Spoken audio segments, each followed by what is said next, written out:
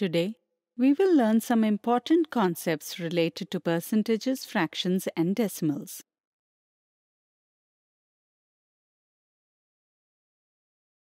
Many times, we come across situations where we need to convert percent into fraction or decimal and vice versa.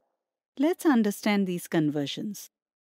Suppose Dinesh, Ramesh, and Rahul gathered some flowers together. Out of the total flowers, if 2 fifth part is gathered by Dinesh, 7 by 20th part by Ramesh, and 1 fourth by Rahul, can you tell who collected more flowers? Can you tell us how to do this? Think for a while. You got it right. Here we need to compare 2 by 5, 7 by 20, and 1 by 4. We can find the answer by comparing fractions, but we will make use of percentages here. In the previous video, we have understood the concept of percentage. Can you tell what is meant by percentage? Think for a while. You are right.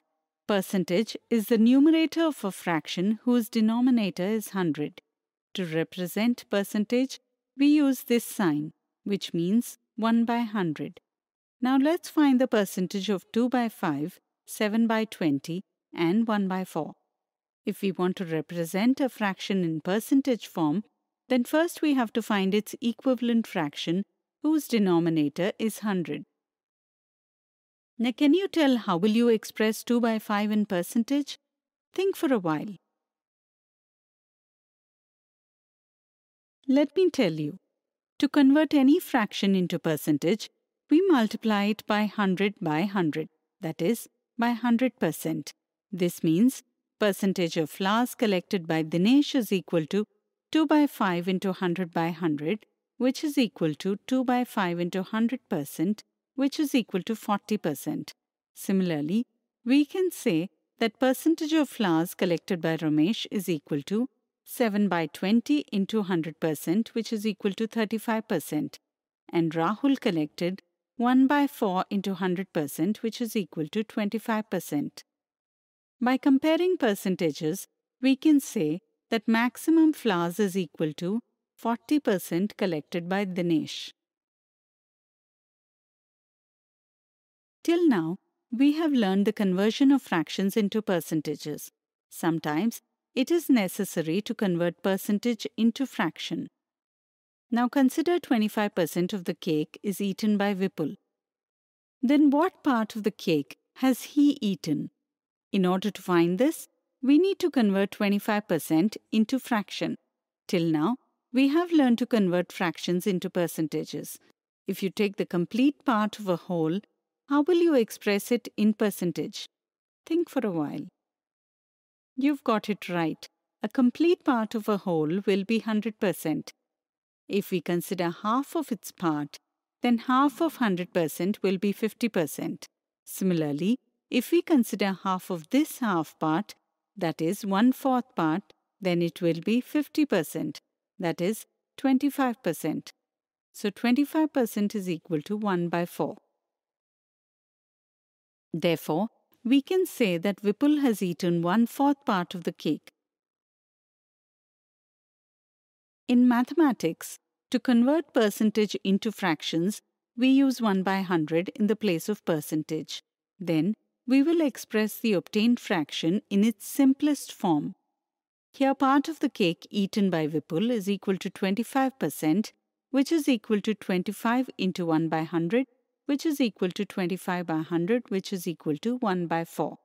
Similarly, remaining part of the cake is equal to 100% minus 25%, which is equal to 75%, that is 75 by 100 or 3 by 4. So, to express percentage in fraction, first we will find the value of percentage, then express it in the form of the corresponding fraction. Now let's learn the conversion of decimal to percent and vice versa. Suppose we have to express 0.546 in percentage. Just as we multiplied 100% to convert a fraction into percentage, in the same way, we will multiply decimal numbers with 100% to convert into percentage. So, 0.546 is equal to 0.546 into 100%, which is equal to 54.6%. Similarly, we can write 1.75 as 1.75 into 100%, which is equal to 175%. In both situations, we can see that the percent has the same numbers as in decimal number, only the decimal point is moved to the right. In general, we can say that to obtain percentage of any decimal number, move the decimal point two positions towards the right. With this understanding, can you tell the method to convert percentage into decimal? Think for a while.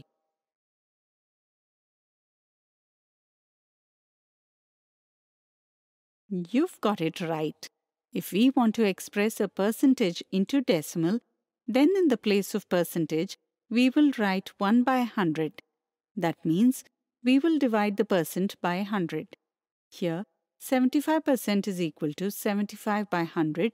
That means 75 out of 100, which is equal to 0.75. In general form, we can say to convert percent into decimal, we move the decimal point two positions towards the left. Today, we have learnt to express any fraction into percentage, the fraction is multiplied by 100%.